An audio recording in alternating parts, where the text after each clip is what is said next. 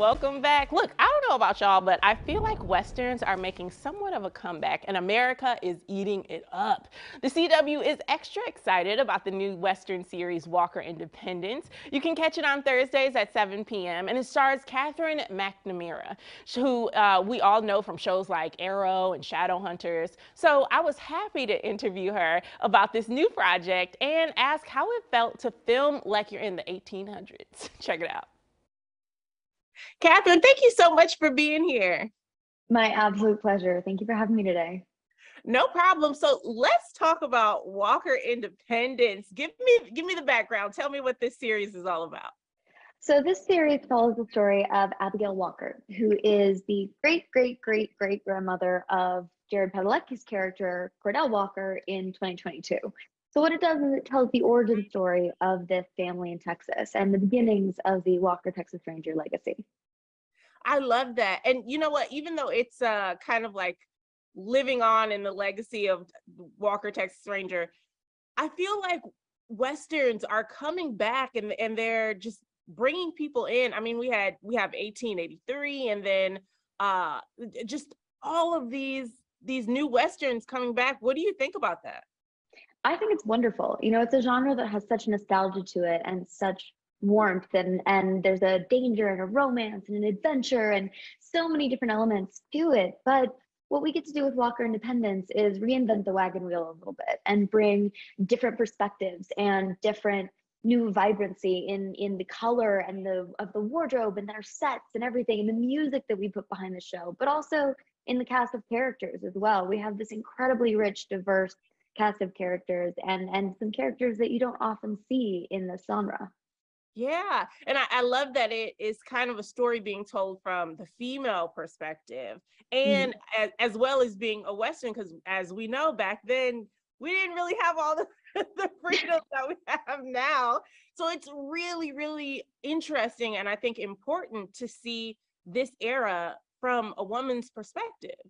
Yeah, it's quite an interesting dynamic because you get to see a woman who is of society, of Boston, of a town that is very um, developed for for that time period, moving to a future that she thinks is going to be a fresh start, but it really turns out to be an entirely different fresh start than she ever imagined. Um, you know, when her entire life burns up literally within the first 10 minutes of our show, you see her presented with a choice to, you know, become a victim of her circumstance or to reinvent herself and create her own independence, as it were. Yeah. And also, you had to go to cowboy camp, right? Indeed. how, Was, I mean, how was cowboy camp for a woman? It was great. I mean, I'm a good Girl Scout. I had a little bit of a little bit of riding experience, but we have such an incredible team of horse wranglers and uh, an incredible team of horses that um, really showed us the rope, for lack of a better term. And we got to learn a, a myriad of things, but um, I had to learn how to ride backwards on a horse for the pilot, and then now Abby has her own horse, so I'm I'm getting to really bond with my horse Joe, and uh, it's it's a great time just to bond as a cast, but also it's a, a new set of skills that it's part of my you know my favorite part of the job that I have is that I get to constantly be learning and growing as a person and an artist. I like it. Are we gonna get you having some like stunts in this series? Are you because I mean, you're, you're looking for justice in, in your character, you know. indeed, indeed. I mean, you know, coming from the world of Shadowhunters and Arrow, when I'm jumping off of buildings and shooting things, whether it's with a magical, you know, portal out of my hand or uh, an arrow out of my bow, uh, you know, it's a very different kind of stunts and a very different kind of physicality, given that I'm in a corset and at least two or three skirts at any time. But uh, it's it's a it's a different kind of action, but still worth the while. There's a lot of blood, sweat, and tears that goes into our show. Yeah, and speaking of the wardrobe, how was it shooting on these? I'm sure long days. You got to be out in the, you know, wild, wild west. And I saw videos on your Instagram that the rain would sometimes stop production. And was that like a, a everyday occurrence or what? We uh, we started shooting this series during monsoon season here in New Mexico, and so just about every day, because you know for safety, we're not allowed to shoot when there's lightning within a certain number of miles from our set. Thankfully, they try and keep everyone safe. Yeah. Um, but it, you know, it did, it was a bit of a hindrance at a certain point, but it's just beautiful. I mean, New Mexico is such a gorgeous place.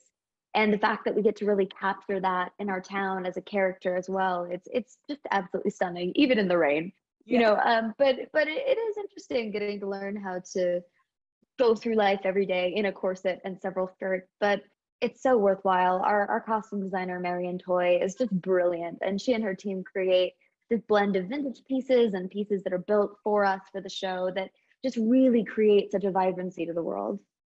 Well, I cannot wait to watch. I don't know what it is with me. And like I said, like just resurgence of Westerns, and I'm just all in, I, I promise. So we cannot wait to watch Walker Independence. Thank you so much, Katherine, for being here. We really appreciate it. Thank you for having me.